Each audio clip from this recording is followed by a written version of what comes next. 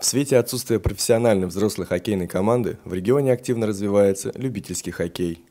В городе Волжском проходят игры открытого турнира по хоккею среди любительских команд региона. Турнир будет проходить до весны на ледовой арене «Волжский». В этом турнире участвуют 13 команд, а это около 250 любителей этой игры. Субботним утром на льду встретились «Динамо» и «Сталь», обе команды из Волгограда. К сожалению, борьбы не получилось с первых же минут. Динамовцы атаковали много и результативно. Столевары же изредка отвечали контратаками, но свои шансы использовать не смогли. Итог 10-0 в пользу «Динамо». У победителей голами отметились Александр Тяпкин, Роман Блащицын, Андрей Смолин, Виктор Тихонов и Евгений Бунеев. А, соперник достаточно серьезный. Здесь все команды э, такие играют. Ну, просто получилось, мы реализовали свои моменты.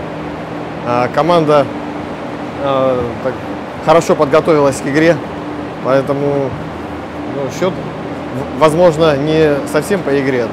Но играем мы уже достаточно давно, поэтому э, коллектив сложившийся.